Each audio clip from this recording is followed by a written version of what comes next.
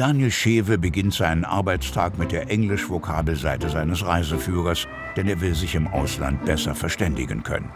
Der Kraftfahrer aus dem Ruhrgebiet ist mit Bauzäunen auf dem Weg nach Israel. Heute ist Feiertag in Griechenland und Daniel ist sich nicht sicher, ob er fahren darf. You know on Sunday is it forbidden to drive with the truck or I can drive because I see in the, uh, on internet that I can drive till three o'clock. From uh, 4 o'clock afternoon until 10 o'clock is forbidden. Perfect. I go to Israel. Israel? Yes. With the boat? With the boat, yes. Nice. Is not, is not uh, more better to go to Turkey? Oh no, then I must pass uh, Syria. So? Oh no. It's a free country. Yeah. ah, that's not so nice. Problem is political. I know. The peoples are very kind, are very nice. You don't have nothing to do with that.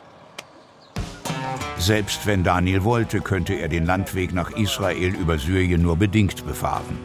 Große Teile der Strecke sind seit Beginn des Krieges gesperrt.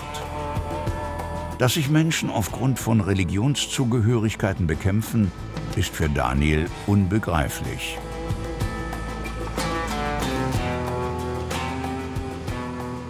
Einer ist Christ, einer ist Moslem, einer ist Hindu, einer ist orthodox und der andere glaubt an Trolle. Dann soll er dran glauben. Ist völlig in Ordnung. Hat meinen Segen. Alles gut. Ich glaube an meinen Gott und das war's. Ende der Diskussion. Und wenn einer nicht glaubt, ist es genauso in Ordnung. Dafür bestrafe ich ihn nicht und verachte ihn nicht und behandle ihn genauso wie jeden anderen aus. Ende. Friede.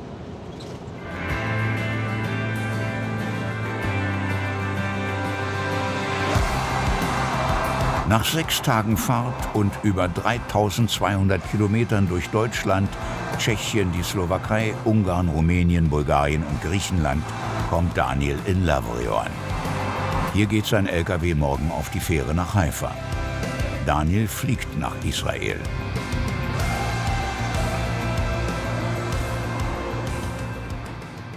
Er ist ja voll platt hier drauf geflogen, der Kollege.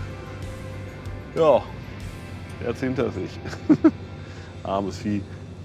Ja, sechs Länder und allen Tieren gesammelt. Aber das hat er gut gemacht.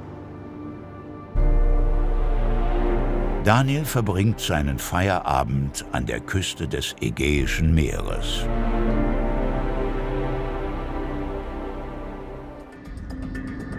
Der nächste Morgen am Hafen startet dann mit einer bösen Überraschung.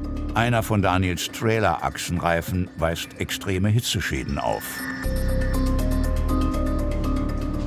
Die sind so freundlich, haben einen Reifenhändler hier in Lavrio angerufen. Der kommt wahrscheinlich gleich hier hin und wechselt den Reifen hier vor Ort.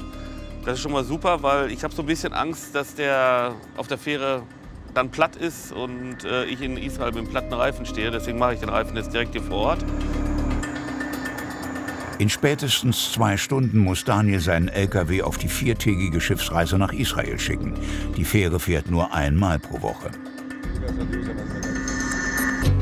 Doch bereits eine halbe Stunde später taucht der Reifenservice auf. Er, nimmt den, er pumpt den jetzt hoch, nimmt den runter, also ein Servicemobil. Da wechselt er den Reifen von der Felge rauf runter, wieder auf, auf den LKW, festschrauben, fertig. Dauert vielleicht 20 Minuten ungefähr.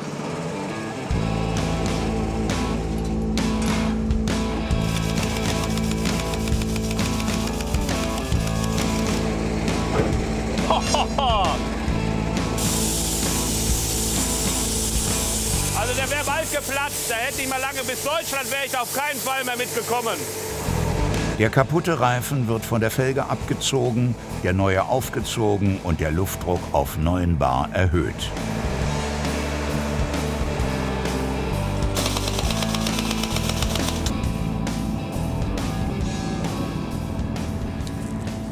Have a nice day. Same to you. And we see us. Have a good roads.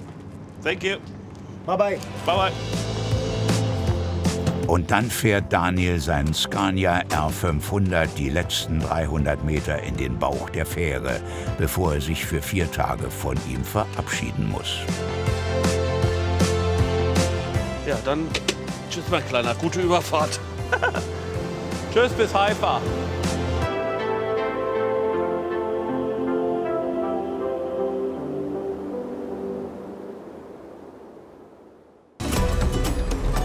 Ruhrpott-Trucker Daniel Schewe steht ein zweistündiger Flug nach Israel bevor. Sein LKW wird ohne ihn nach Haifa verschifft. Das passt Daniel überhaupt nicht, denn er hat Flugangst. Ich bin schon komplett durch. Kaum geschlafen heute Nacht. Mir geht so die Düse. Scheißfliegerei. Ich hasse es. Ey, ich hab null Bock dazu. Ich hab echt den Arsch auf Grundeis. Ich hab keine Lust. Will jetzt eigentlich nur noch, dass das alles vorbei ist. Dass ich drüben bin. Das ist jetzt mein Wunsch.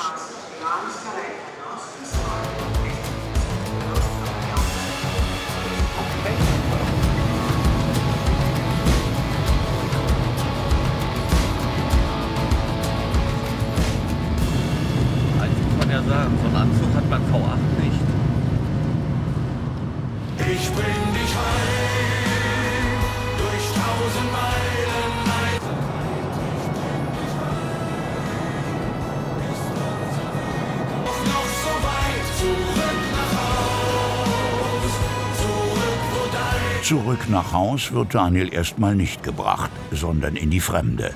Der Trucker landet im israelischen Tel Aviv. Nachdem er sich etwas erfrischt und umgezogen hat, will Daniel seinen Mietwagen abholen. Denn sein Truck kommt erst in drei Tagen an. Mazda. Okay, wer ist denn auf dem Sitz gestorben? Daniel hatte sich eigentlich einen SUV ausgesucht. Bevor er losfährt, hält er die Schäden am Auto fest und bittet einen Mitarbeiter des Mietwagenverleihs, alle Beanstandungen schriftlich aufzunehmen. Das ist schon notiert hier, sehen Sie, Okay. der Teil ist schon. Also, Okay. Oh, schön, dass Sie Deutsch sprechen. Ja, Woher können Sie gut Deutsch? äh, meine Familie stammt aus Deutschland. Ach so, ja, ist ja super. Super, weiß ich nicht. ja, für mich jetzt gerade. Ist einfacher.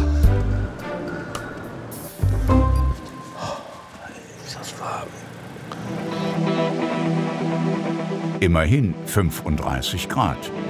Israel liegt im Übergangsgebiet vom Mediterranen zum Wüstenklima. Dani legt die ersten Kilometer auf dem Highway 1 Richtung Ganjafne zurück. Dort sitzt sein Kunde.